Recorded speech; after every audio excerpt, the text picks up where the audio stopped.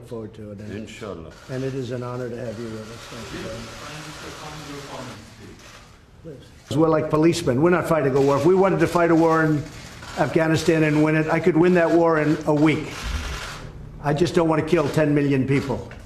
Does that make sense to you? I don't want to kill 10 million people.